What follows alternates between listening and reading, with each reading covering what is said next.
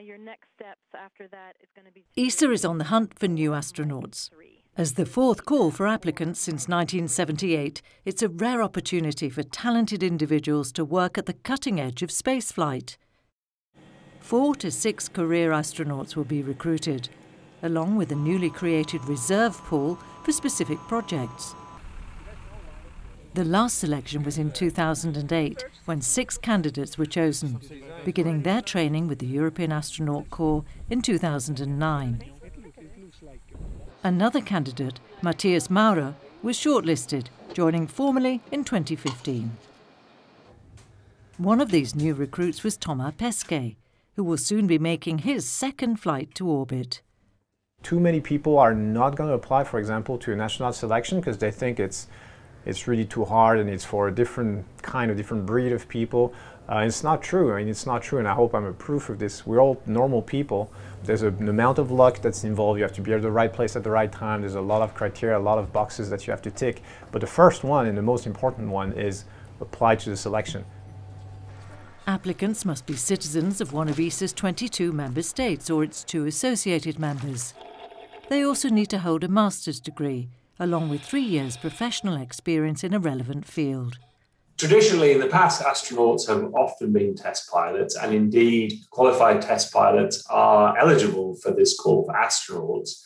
But equally, living and working aboard the space station, we're looking for a also much broader set of uh, possible skills in science or technology or medicine. The type of people who are going to undertake the scientific experiments uh, aboard Columbus, be adaptable enough to prepare for missions to go into deep space, maybe towards the moon, and uh, also, they're going to be ready themselves to be test subjects for the medical experiments. ESA's search for new talent will be wide ranging, with a commitment to include people of different gender, age, and ethnic background.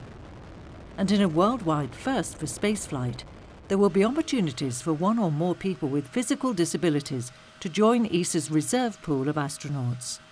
Diversity and inclusiveness are key values at ESA. For the first time in human history, ESA will be selecting one or more persons with certain classes of physical disabilities who will take part in the ESA Parastronaut Feasibility Project. There will be a dedicated vacancy notice where all requirements will be listed. This project aims at assessing the possibility to enable qualified professionals with physical disabilities to serve as a crew member on a safe and useful space mission. To enable the Parastronaut feasibility project to move forwards, ESA is ready to invest in adaptations to space hardware. Starting with selected disabilities with a view to broader inclusion, the program will enable a wider range of candidates to bring essential skills to space.